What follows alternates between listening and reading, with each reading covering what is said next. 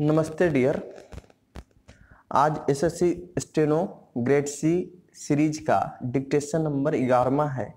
इसमें 1200 शब्द होंगे, जो 110 शब्द प्रति मिनट की गति से होगी। तो चलिए आज का डिक्टेशन शुरू करते हैं।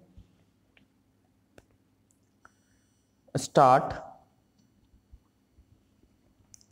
अध्यक्ष महोदय, सबसे पहले मैं अपने माननीय कार्यकारी पार्षद महोदय का, जिन्होंने बजट भाषण दिया है और अपनी नीतियों की घोषणा की है, उसके बारे में उनको हृदय से बधाई देना चाहती हूँ। मैं यह नहीं कहती कि कोई क्रांतिकारी परिवर्तन लाना चाहता है यह बजट, लेकिन मैं यह भी देखती हूँ कि यह बजट जो है, धीरे धीरे गति से समाजवाद की ओर बढ़ता जा रहा है अपनी नीति से यह भूतकाल और वर्तमान दोनों को एक कड़ी में मिलाकर हमें उज्जवल भविष्य की ओर ले जाता है।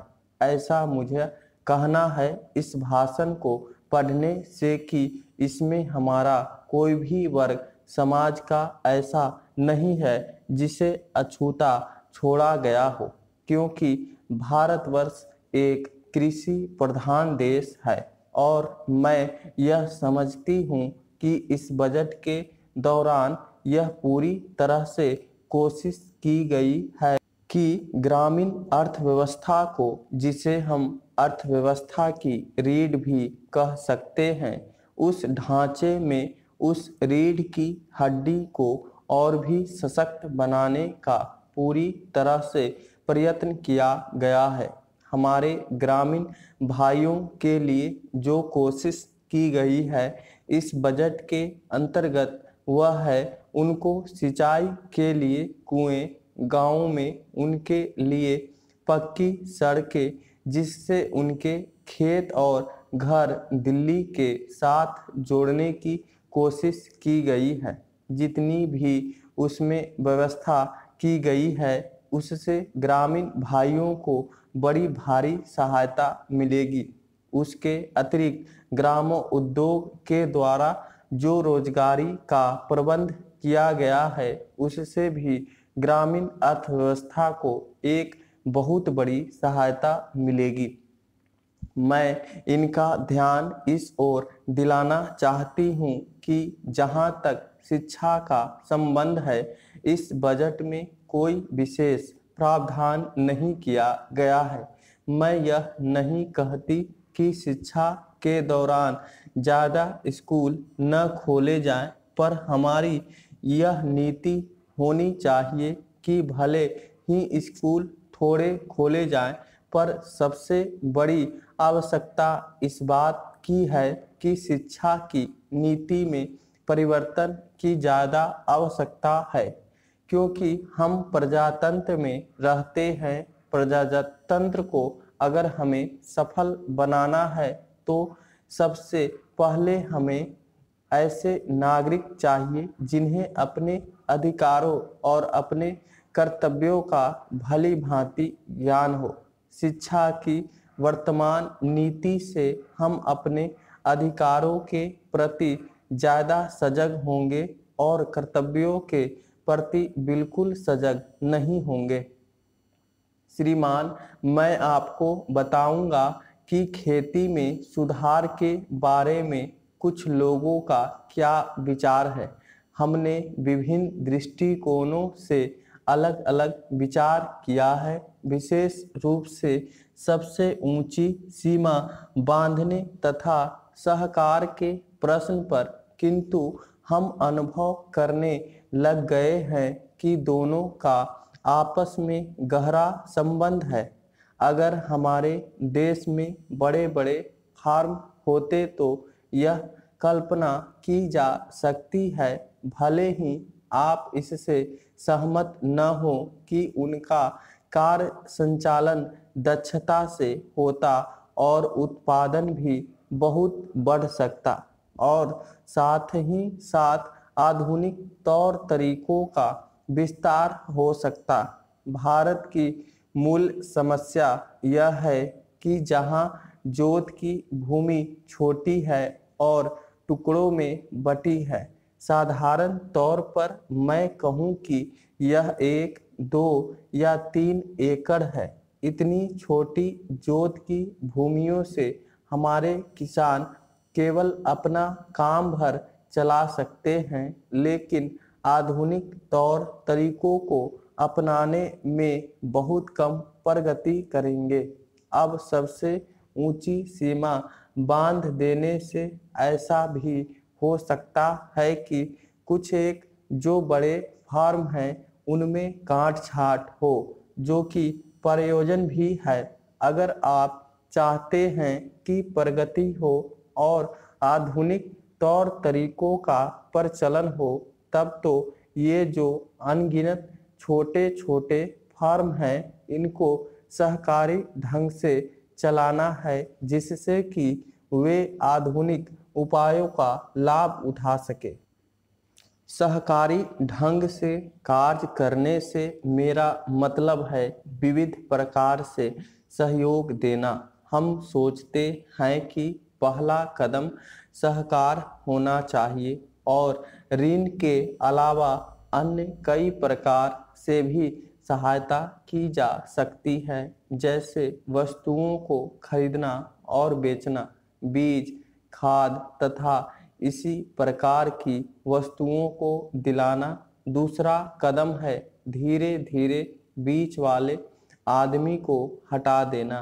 फिर दूसरी स्थिति आती है, जिसको मिलजुल कर खेती करना कहते हैं। यद्यपि उसमें भूमि पर अधिकार बना रहता है, इस प्रकार का हमारा दृष्टिकोण है, जिससे अधिक से अधिक सीमा की समस्या को सहकारों से अधिक से अधिक जोड़ा जा सके। नहीं तो उत्पादन गिर जाने का भय है। यह एक जटिल समस्या है जिस पर मनन हो रहा है।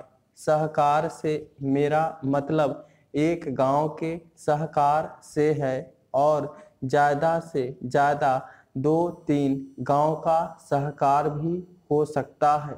यदि वे निकट से संबंधित हैं, लेकिन हमारी सरकार इनकी भरपूर सहायता करेगी। उपाध्यक्ष महोदय, वर्तमान वित्त अधिनियम सदन के सामने प्रस्तुत है। इस बिल पर मुझे बोलने के लिए आपने समय दिया, इसके लिए मैं आपका आभारी हूँ। इस बिल का एक विशेष महत्व इसलिए भी है कि यह संकट काल में पेश हुआ है। चीन ने हमारे देश पर हमला किया देश पर संकट आया, राष्ट्र को चुनौती मिली और इस चुनौती को हम सबने स्वीकार किया, जिसके लिए पैसे की आवश्यकता हुई। इसको वित्त मंत्री ने बड़ी कुशलता से देश के अंदर और देश के बाहर से जुटाया। इस बिल का महत्व तो इसलिए भी है कि हमारी पंचवर्षीय योजना के मध्य में ही यह बिल आया है। देश में बड़ी बड़ी योजनाएँ अभी अधूरी हैं, जिनका पूरा होना देश के लिए बड़ा आवश्यक है। इसके लिए भी बहुत बड़ी धनराशि चाहिए। देश पर संकट आया और देश जागा। कोने कोने से लोगों ने पैसा और सोना दिया। और अपने लड़के तक फौज में दिए। इस देश में किसानों और गरीबों का जो वर्ग है, उसने भी दिल खोलकर इसमें सहयोग दिया। उसके बाद जो उन पर अधिक बोझ कर के रूप में पड़ रहा है या अनिवार्य बचत योजना के रूप में पड़ रहा है, उसको भी वह खुशी खुशी सहन करने को तैयार हैं, परंतु वे सरकार से भी कुछ चाहते हैं। वे चाहते हैं कि उनकी जो गाढ़ी कमाई का पैसा है, खून पसीने का जो पैसा है, वह व्यर्थ के कार्यों में न जाए और उसका सदुपयोग हो। इसके अतिरिक्त उनकी कुछ अपनी दिक्कतें और परेशानियाँ हैं। जिनकी ओर सरकार का ध्यान चाहिए। इस आपातकाल के समय में तो उनको इन आए दिन की कठिनाइयों से राहत मिलनी चाहिए। ऋण लेने में और अन्य कार्यों में जो अड़चने पड़ती हैं, वे दूर की जाए। किसान भारत की रीढ़ हैं। अगर इनको सुविधाएँ दी जाएँगी तो देश आगे बढ़ेगा। आज जहाँ देश के साधारण लोगों ने इस सरकार का हाथ बटाया, वहाँ एक वर्ग ने जो कि धनी वर्ग कहलाता है, अपने साधनों के अनुसार सरकार के सुरक्षा कार्यों में सहायता नहीं की। मैं यह नहीं कहता कि उन्होंने बिल्कुल सहायता नहीं की, लेकिन अपनी स्थिति के अनुसार सहायता नहीं की। जहाँ तक योजनाओं का संबंध है, इस देश को समृद्धशाली बनाने के लिए योजनाओं पर काफ़ी काम हो रहा है। अगर आपको ये वीडियो अच्छा लगे तो लाइक ज़रूर करें।